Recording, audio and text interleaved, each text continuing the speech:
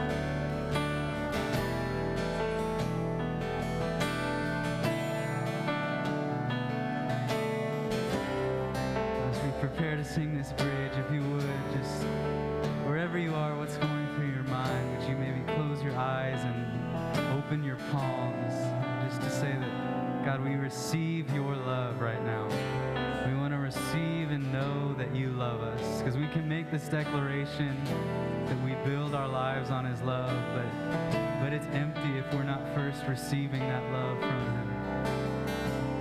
We can't just muster up the strength to feel his love. We have to let him give it to us. So we do that as we sing this, and we know that he loves us.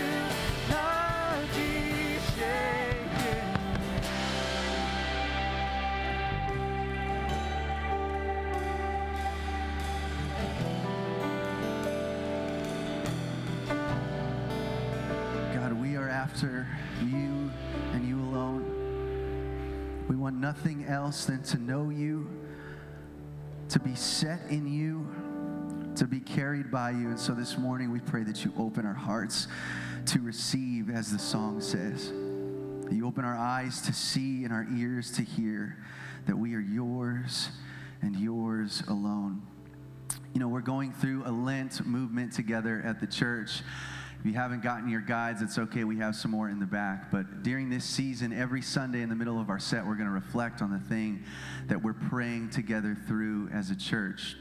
And so this week is about identity. We talk about the what it means to be lost, to not know, to not be able to see when it seems like it's dark, what it means to be scratching and searching for the light. And it's in those moments where we believe that Jesus meets us right where we're at. So as we continue to worship today, we're going to put a passage from Psalm 22 on the screen for you. I'm going to read it for you, it'll be on the screen as well. But hear these words of truth and realize as you read them that this is a heavy psalm but it ends with such great hope. This is the psalm that Jesus quotes on the cross. It begins, My God, my God, why have you forsaken me? But it ends with confidence that Jesus makes a way that where the Father wills it and where Jesus has pursued it, we can walk with him from death to life. Let's read this together Psalm 22. We're going to start with verse 23. You who fear the Lord, praise him. All you offspring of Jacob, glorify him and stand in awe of him, all you offspring of Israel. For he has not despised or abhorred the affliction of the afflicted, and he has not hidden his face from him, but has heard when he cried to him. From you comes my praise in the great congregation. My vows I will perform before those who fear him. The afflicted shall eat and be satisfied. Those who seek him shall praise the Lord. May your hearts live forever. All the ends of the earth shall remember and turn to the Lord, and all the families of the nations shall worship before you. For kingship belongs to the Lord, and he rules over the nations. All the prosperous of the earth eat and worship before him shall bow, all who go down to the dust, even the one who could not keep himself alive. Posterity shall serve him. It shall be told of the Lord to the coming generation. They shall come and proclaim his righteousness to a people yet unborn, that he has done it. This is our history and this is our legacy. The love and the mercy of Jesus, who died for you, who stepped into the darkness and the heaviness where you are at right now, carried the same pain saw your sin and loved you anyway so that you might walk with him into eternal life. This is our hope right now. It's the hope in this season, it's the hope in every season that the steadfast love of the Lord endures forever. God, we need that steadfast love. We need it like the desert needs rain, God. We need it like those suffocating need oxygen, God. We are desperate to know your love this morning. And so we take truth from that scripture, we take hope from it. That in our desperation, you meet us right where we're at. That as a different psalm says, God, you remember that we are dust and you come to us right there. You form us into your church, into the body of Christ, and you set us forward into joy, into life eternal. God, we thank you that Jesus is alive and risen and alive and risen in us, in this congregation, God, as we lift up this song of praise to you. May these not be just words, but may this be our confidence that you, who have done a great thing, is doing great things in our lives in this community. That what you have ordained, none can take away from us. That you are the true foundation to build a life upon because you're the only life we have. We thank you, God, that you are right here. Speak to us loudly as we worship today.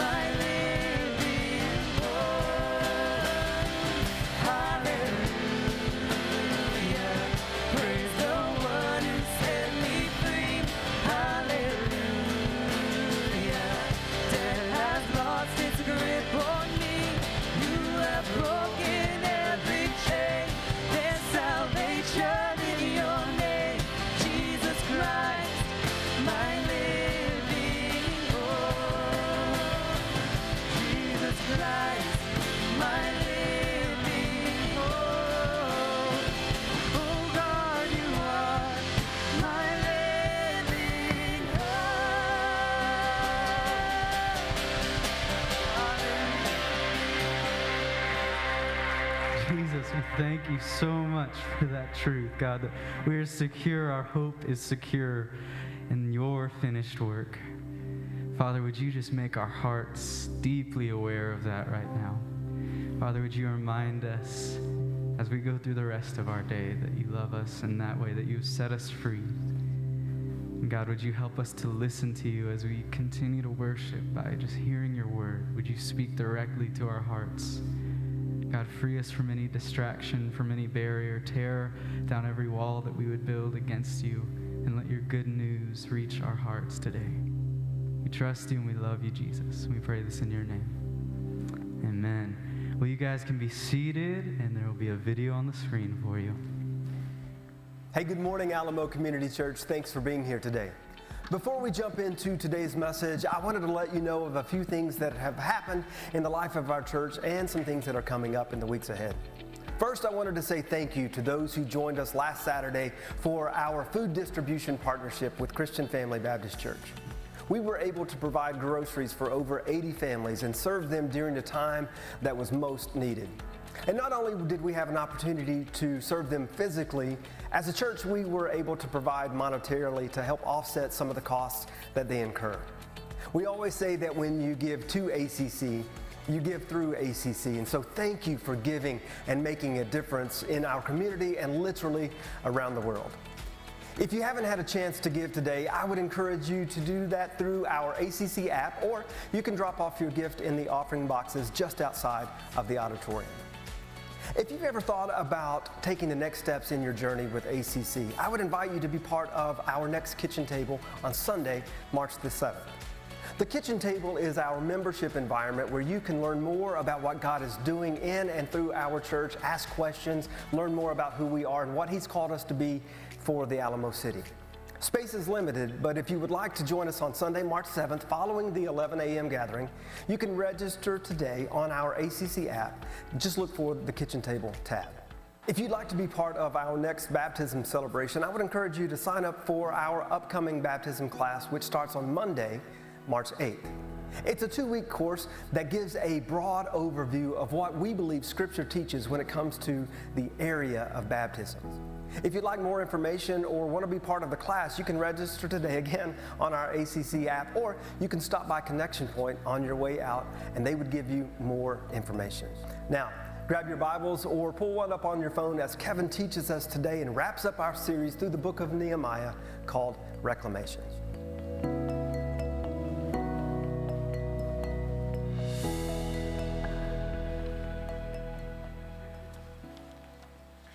Hey, as we jump in today, I have a question for you that just admittedly, it's going to feel a little bit random given that today is uh, officially the last day of February. But nevertheless, here's my question How are you doing with your New Year's resolutions? There's somebody who answered. The rest of us, we just kind of kept quiet. You remember these things that we wrote down at the beginning of the year, or we intended to write down? It was the, it was the diet thing, it was the exercise uh, thing, it was the class we were going to take, it was those relationships that we were going to double down on, it was the, you know, the social media time that we were going to decrease and, and, and limit in our life. How, how are you doing with those things?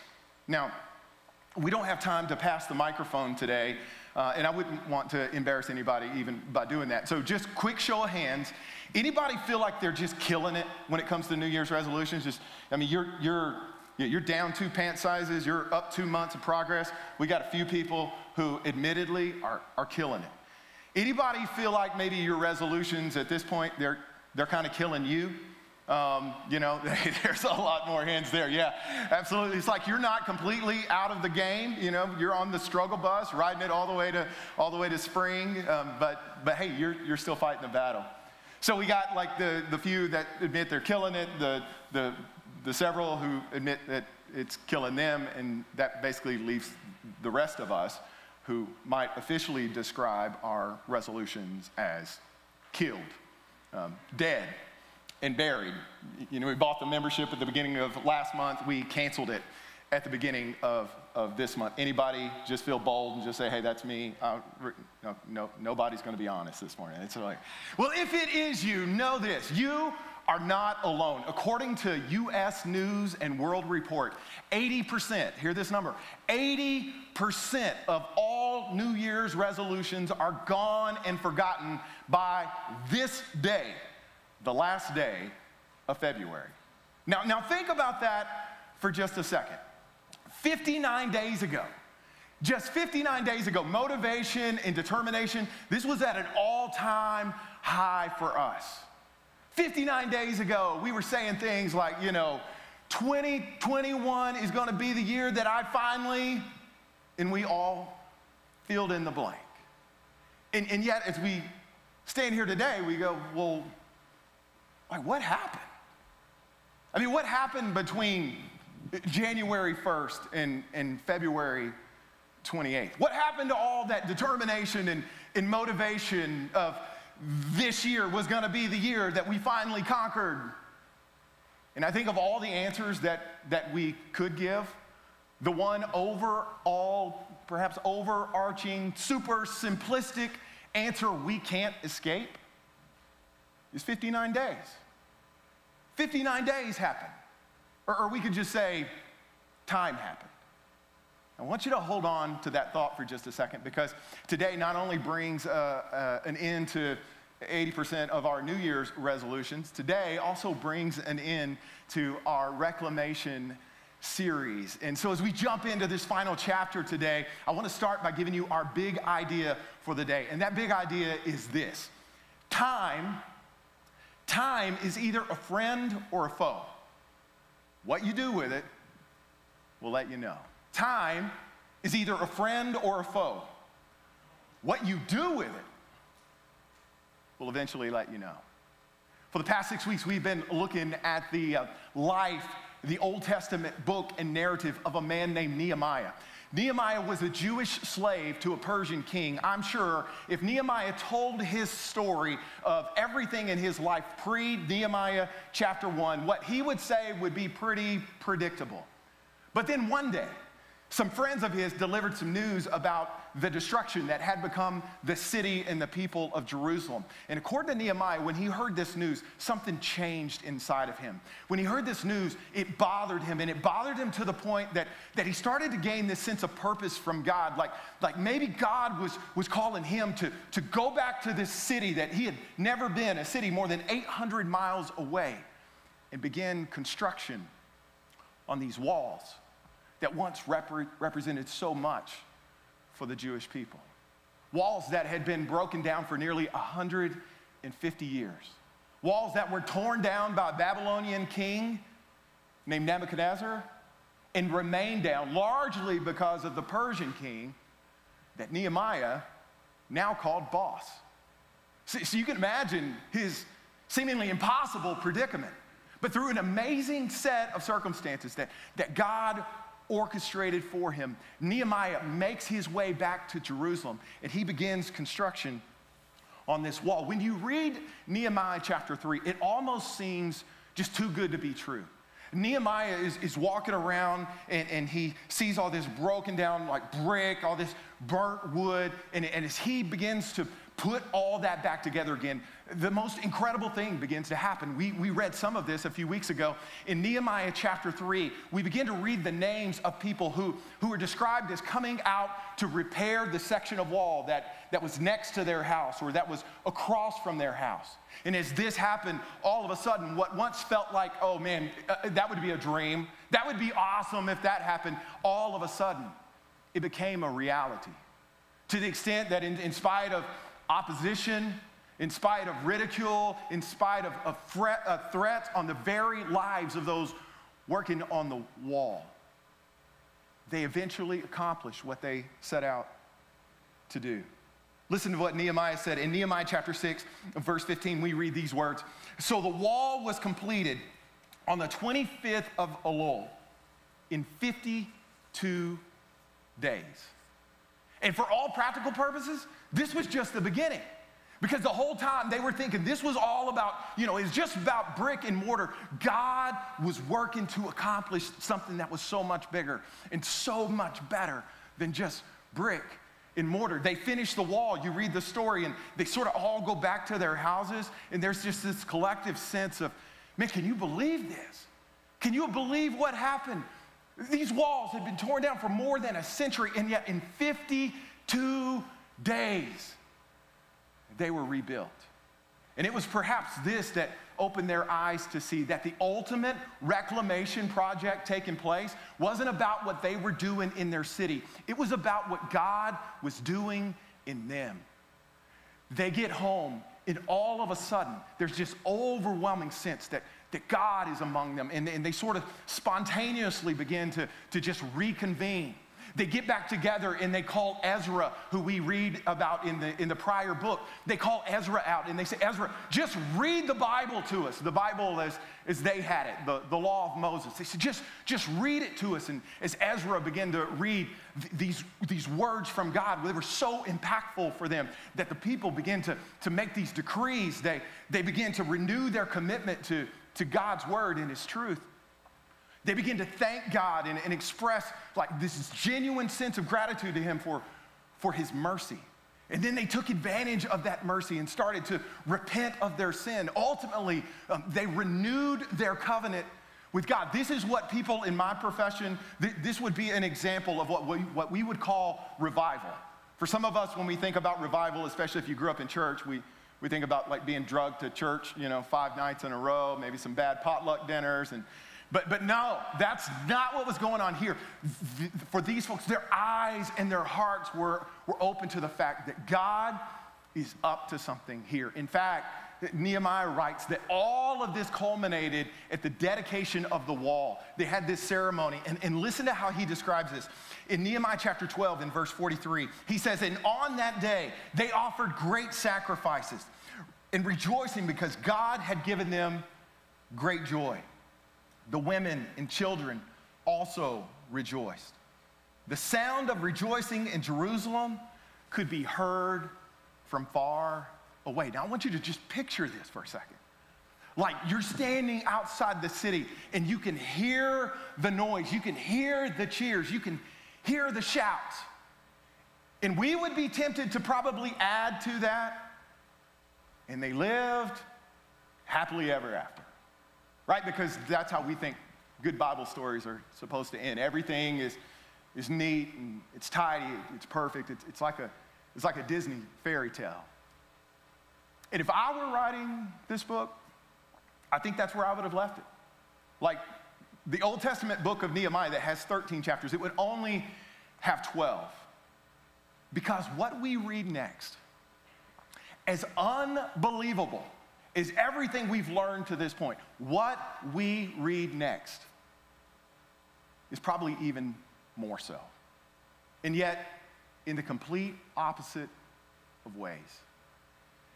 In Nehemiah chapter 13, starting in verse 6, Nehemiah describes how Elisha, the, the high priest, he, he gave a room to Tobiah a room inside the temple. Now, if you're new with us, Tobiah is one of the guys that we read about at the end of Nehemiah chapter 2. He's one of the, the big three when it came to the enemies of Nehemiah, the guys who tried to distract them, but ultimately just threatened to kill him for trying to rebuild these walls. There was Tobiah, there was a guy named Geshem, there was a guy named Sanballat. And, and, and Nehemiah says that the high priest gave Tobiah a room inside the temple precincts.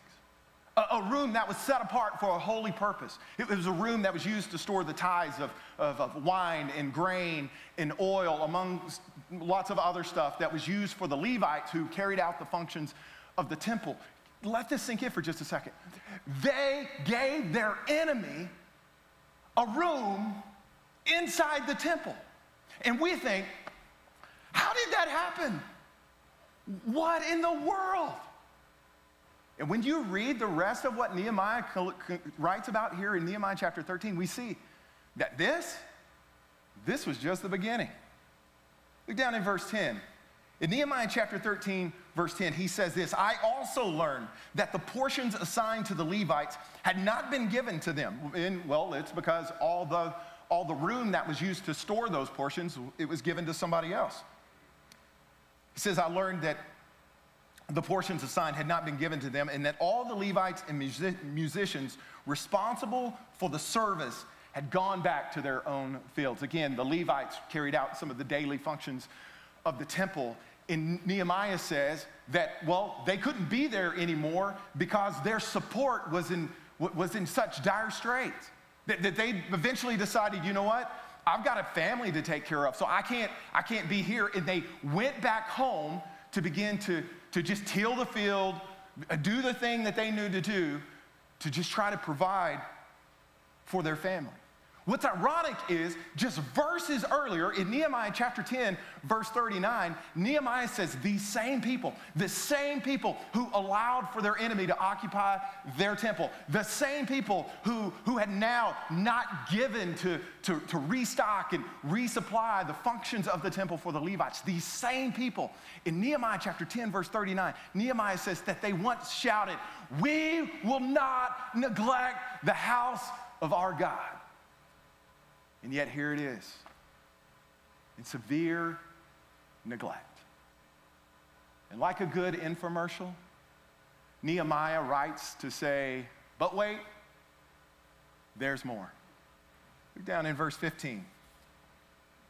In 1315, Nehemiah writes, In those days, I saw people in Judah treading wine press, presses on the Sabbath and bringing in grain and loading it on donkeys, together with wine, grapes, figs, and all other kinds of loads. They were bringing all this in Jerusalem on the Sabbath. And Nehemiah says, and on top of all that, they were working and selling merchandise on the one day that God had set aside to not work and sell merchandise. In fact, Nehemiah describes this as being so blatant. He said that the merchants would actually camp outside the gates the night before. So when they opened the next day, they could be the first ones in to, to set up their tables in like the prime places. It's like the, the, the, the strange folks that camp in the tents outside of, of, of, Best Buy on, you know, before Thanksgiving Day, leading up to, to Black Friday.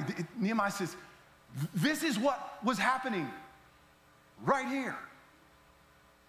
Then, after Nehemiah explains all of that mess, he uses six of the final nine verses of this book that bears his name to describe that on top of everything they had done, there, oh, yeah, there was this one other thing. And this one other thing was the thing that they had promised not to do as early as the, the dedication of the wall. Nehemiah, he says that, that, that the, the Jewish men had started to, had started to marry, started to take for themselves uh, foreign wives. In, in our culture, it's like, okay, well, what's, what's the deal? Well, when you read the Old Testament, you see this is the thing that, that Solomon did. And when he took foreign wives, he, he, um, he adopted their foreign gods, and all of a sudden, the one true God was like just a little trinket among a whole bunch of other gods. And so it was like, you know, have no other gods before me, but they kind of had lots of other gods that were just kind of playing the, playing the, playing the cards to, to their advantage. Nehemiah says that they did this. And it was so rampant that the priests were even involved in the process. In fact, he says that the high priest grandson married Sanballat, another enemy, married his daughter. And everybody was okay with it, but not Nehemiah.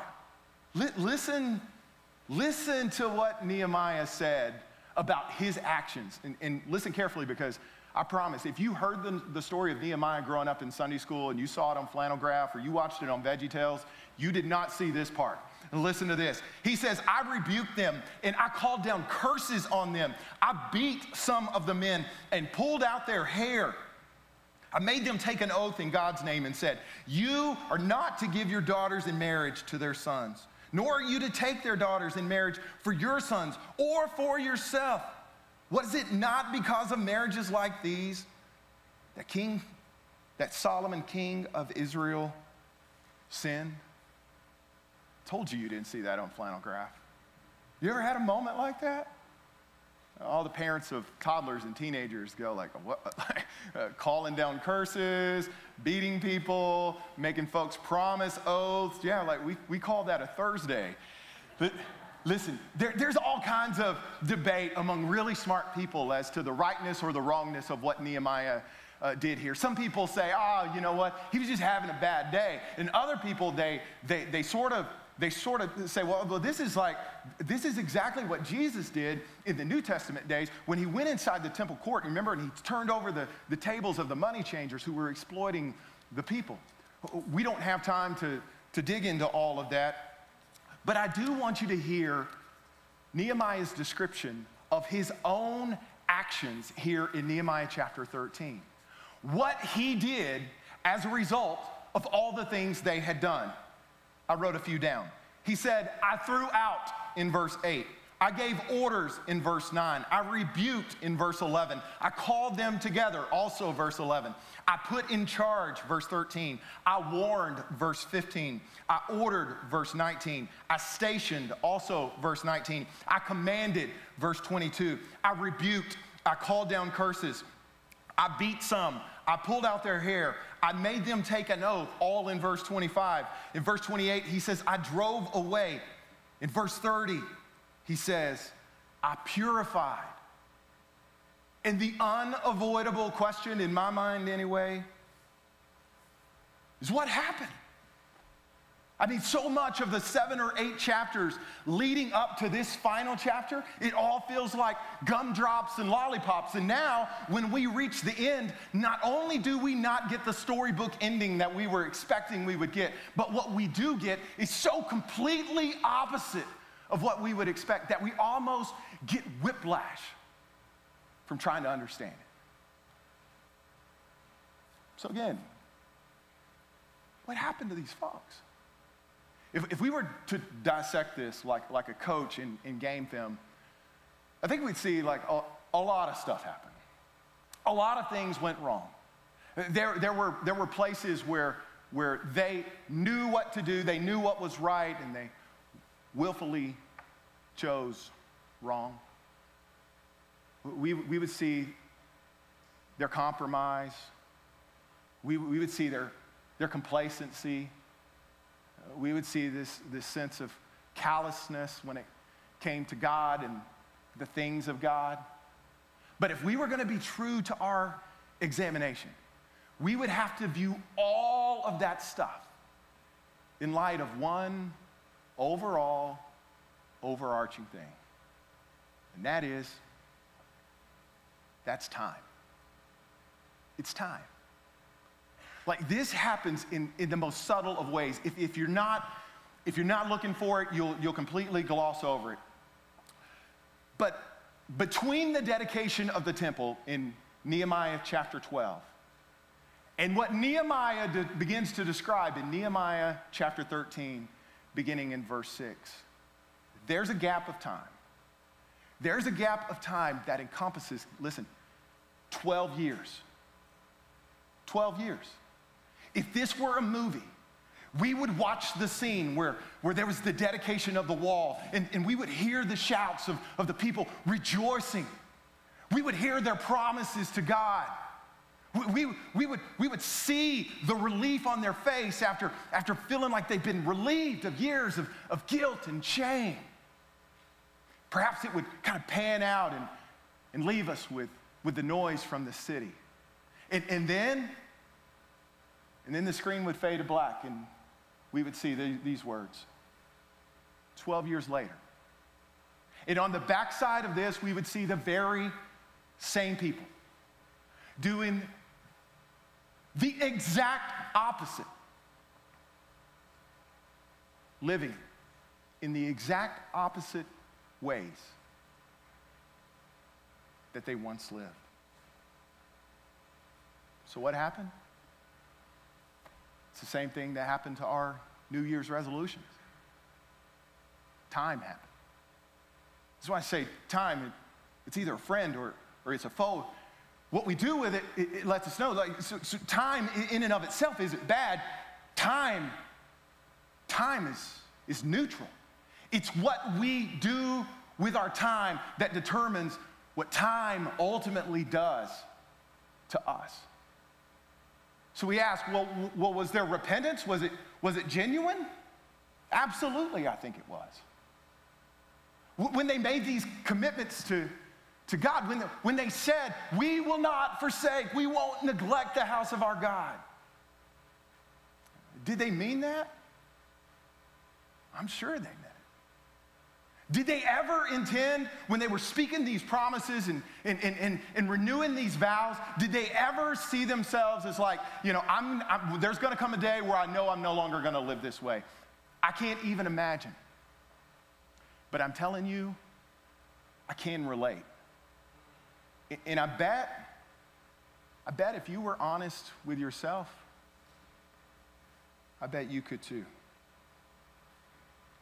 Just in case maybe you got lost in all those Old Testament details and sort of zoned out for a second and started counting light bulbs, tune back in for, for just a minute because I want to ask you a question that I think connects all of these dots for us. All of these dots between what they did and how they lived then, and what we do and how we live now. Here's my question Have you ever made a promise to God that you hope He forgot? Have you ever made a promise to God that you hope He forgot? Have you ever had one of those moments, you know, where it's like, God, from this day forward, I promise I will always. And we filled in the blank. God, from this day forward, I promise I will never, ever again. Maybe those moments of tragedy, those moments of crisis. Maybe you remember one of those in your life where you prayed a prayer that, that many of us pray from time to time, and we say, God, if you would only, then I will surely. Have you ever made a promise to God that secretly, because we wouldn't say it out loud, but, but secretly, deep down in our hearts, we go, man, I, I hope God doesn't remember that anymore. Some of you know, um, for almost 14 years uh, before I started Alamo Community Church, I was a youth pastor. And if you grew up in church or grew up going to you know, Wednesday night youth group, you, you know that one of the biggest weeks of the year for student ministry is always a youth camp.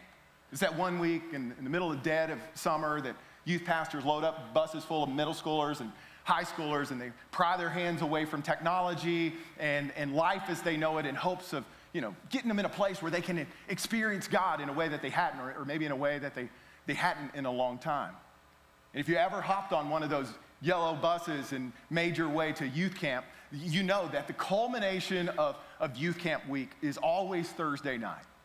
Thursday night is the night where everybody throws a stick in the, in the youth camp bonfire and, and they stand before their, their friends and, and before God and they make all kinds of promises about what life is going to be like for them when they get home. All the I promise I will always, I promise, never ever again will I ever. And they lay all this stuff out. And then in the late 80s and early 90s, after that point, we would sort of lock arms and sway back and forth and sing Michael W. Smith's Friends Are Friends Forever. But, but that was weird, and I digress. For years and years and years, listen, I, I watch, no kidding, hundreds, hundreds of middle school and high school students do this I watched every summer. Thursday night, they would roll around to this place where they would say, you know what, I think, I think God's doing something in my life. They would empty their, their sin bucket and, and, and, and begin their, to rehearse their promises and, in front of their friends. But, but you know what I observed? That oftentimes the opening bell of the next school year didn't, didn't ring before they had already abandoned all the stuff that they, that they said. They sort of, you know, kind of gone back to life is, life is normal. And so for the last half of my student ministry days, I decided, you know what, I think I'm going to do something different with this. So what I decided to do is leverage this Thursday night thing, um, not just for, for my good, but, but for their good. And so when Thursday night rolled around and, and you know, all the kids who'd been, you know, sliding away to try to go make out in some trails or something, they all finally, everybody showed up on Thursday night and, and there were tears and, and they were singing and, and they would begin to say, oh man, when I get back, I promise, never again will I ever, I promise, I will always, I would let them do that. They emptied out their sin bucket and then I passed out a piece of notebook paper and an envelope and I said, here's what I want you to do. I want you to write yourself a letter just describing how you feel right now. I want you to write yourself a letter about the commitments that you're making to God and yourself right now. Now, this isn't for grade. Nobody's going to read what you write. You write it, put it in the envelope, seal it up, Address it to yourself and then just pass it off to me on your way back. And so every summer I'd walk away with a stack of envelopes. And then about this time every year, January, February timeframe, I'd put a stamp on them, I'd drop it in the mail.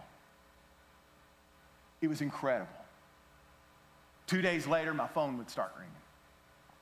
On the other end, be high school students saying, Hey, Kev, um, I know you hadn't heard from me in a while, but do you think we could talk?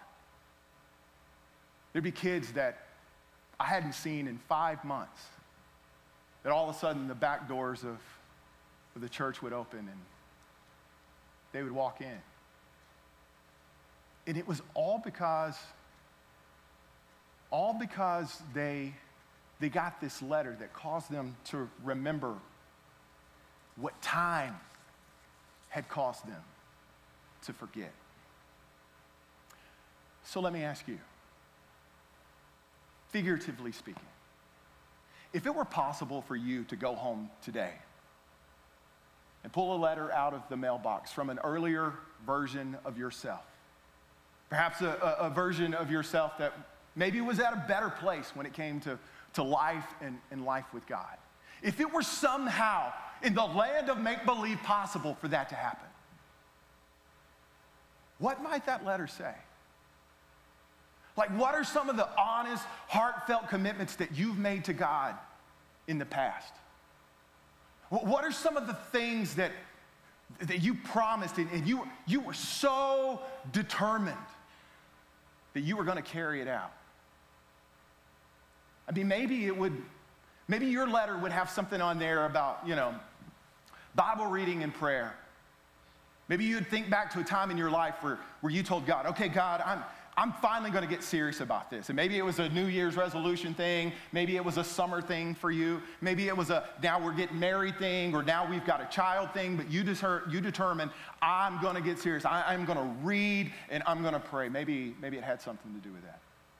Or maybe your letter would take you back to a place where you decided, you know what, I'm finally going to get involved in church. I mean, I've been thinking about it, I've cried about it a couple times in the past, but I'm, I'm telling you, I'm going to be dedicated. And I'm not going to just show up. Like, like maybe you would go as far to say is, you know what, I'm going to I'm going to serve, I'm going to give, I'm going to give of myself. I'm going to give of my finances. I'm, I'm going to no longer sit in a chair and listen to stories that happen to the exclusion of me. I, I'm getting involved. Or maybe, maybe your letter might bring to mind some of those, those never again bad habits that you've tried to kick over the years. You know, those broken things that, that break us. Maybe it's secrets, or sex, or porn, or lies, or hypocrisy of someone you were pretending to be. Goodness. Maybe your letter would, maybe it would even bring to mind a, a sense of calling that you once had from God, where, where you came to Him and, and literally, as, for as much as you knew, you opened your hands and you said, God, like, whatever you want to do with my life, I'm just going to tell you my answer to you, it's yes. I'm all in. Pastor, youth pastor, worship pastor, missionary, sharing Jesus just wherever I am, whatever I'm doing wherever I live. Maybe you made a commitment like that, and you know what? You meant it. But you look back and it, it feels like time rescinded it. Look, if, if you take an honest assessment of yourself and you determine that where you are right now, at this age and stage of life, it's not where you thought you would be, listen, you and I, we have something that the people of Nehemiah's day no longer have. And that is, we have time. And I don't mean that in the general sense that, that we usually use that term. I'm not talking about procrastination. I'm talking about opportunity. Because time is either a friend or a foe. What we do with it ultimately determines what it does to us. Today, you and I have a chance to take advantage of time. We have an opportunity right here, right now to turn or perhaps turn again to a God who's right here, right now. In fact, before I even polish off my sermon with application, I just want to stop. I'm going to ask Jordan to, to come back up and just give us all a minute. You don't have to stand and sing, you can just sit right where you are. You, you can watch the words on the, on the screen if this sounds foreign to you, but, but if this hits you where it hit me, then, then maybe this would be the moment where you would take advantage of the time that we have and you would just turn to God and say, hey, here I am again. And I know, I know to some degree, like there's some fear in that. It's like, what's he gonna say? What's he gonna do? What's he gonna think? I mean, do you know how many promises I made and broke? Do you know how many commitments I made? Do you know how many times I said, I'm never gonna do this again? And then I did it again? Like not the next week, but like the next hour? What's God gonna think? Listen to me. Let me tell you what he thinks. Romans chapter 8, verse 1 says this There, there is therefore now no condemnation for those who are in Christ Jesus. Because through Christ Jesus, the Spirit of life has set us free from the law of sin and death for what the law was powerless to do and that it was weakened by the flesh. Listen, God did. He did by sending his son, made in the likeness of sinful flesh, to be a sin offering for us. And so he condemned sin in the flesh. He condemned it. So that the so that the righteous requirements of the law might be met in us who don't live according to the flesh, according to the Spirit. He goes on to say, just a couple verses later, he, he says, for the, for the mind that's governed by the flesh, it's death. It, it's this thing that we've experienced with our empty promises. It's the thing that we think is going to lead us to something better than the God who loves us. He says the, the, the mind governed by the Spirit is death. I mean, by the flesh is death, but he, he says, but the mind governed by the Spirit, get this, this is the thing we all look for, the thing we long for, is life and peace. I'm going to give you a few minutes.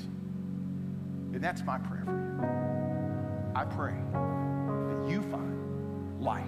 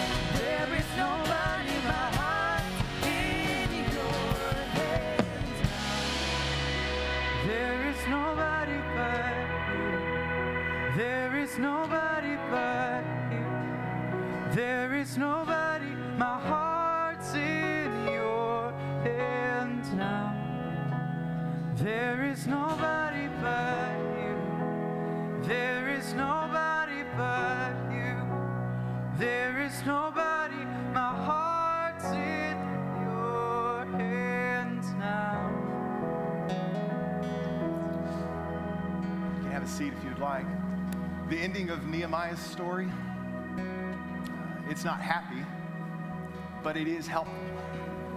And because time is ultimately about opportunity, I, I want to leave you today with two really quick action steps that, that I think you and I can, can take and, and we could put into practice that will help us take advantage of the time we've been given.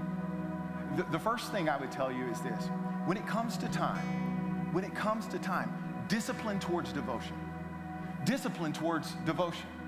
Like we've all lived long enough now to know that it's not enough just to say something is important to us. We have to plan to maintain its importance, whatever it is. Think back to the New Year's resolution thing for a second. If, if your goal was to, was to lose weight or, or to, to shape your sleek, sexy abs, but, but you didn't have a plan, you're not getting it done.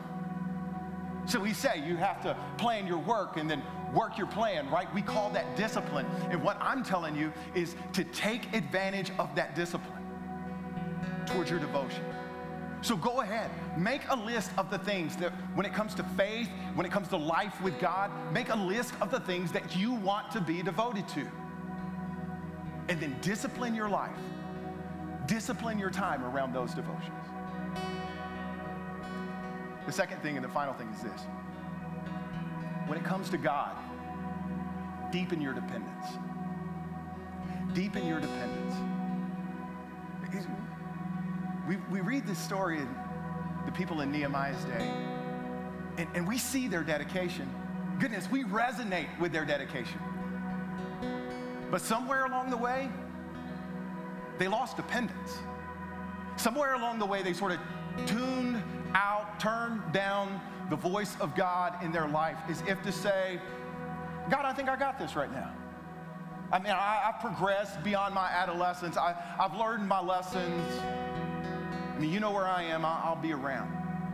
They became independent. And that independent, that independence that, that our hearts, like secretly we, we love, that independence that, that culture applauds, for them, that independence, it eventually, it led to indifference. And ultimately, to defiance.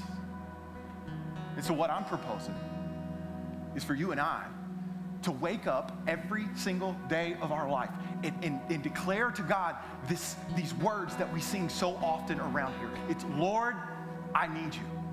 Not, not just when things go off the tracks and, and I get the call and, and, and, and it's hospital, it's sickness, it, it's, it's, it's a wreck, it's tragedy. No. In the good times as well as the bad times. In moments where I feel like I, I actually have some strength for this, and then in moments where we feel depleted, to declare every single day of our life, perhaps multiple times a day, God, I need you. If you will discipline towards devotion, and if you will deepen your dependence, I'm telling you, God will transform, He'll transform the time of our life into the time of our life. Thank you so much for listening today. In just a minute, I'm going to dismiss you. And if you're at a place where you go, hey, Kevin, I, I prayed, but I'd love to pray with somebody, our prayer team is going to be available over to my, to my right. Our connection point team is available just outside the doors. I would invite you to, to stop by and catch one of them. Um, if there's anything our staff could do to pray for you, we, we would love to do that as well. Ladies, as you leave today, you're going to get a piece of paper that looks like this as just a reminder about our IF gathering that is coming up this next weekend right here at Alamo Community Church. Grab one of these, take advantage to be able to huddle with a large group of women this next weekend and what might perhaps be the time of your life as well. Thank you so much for being here today. God bless you as you leave.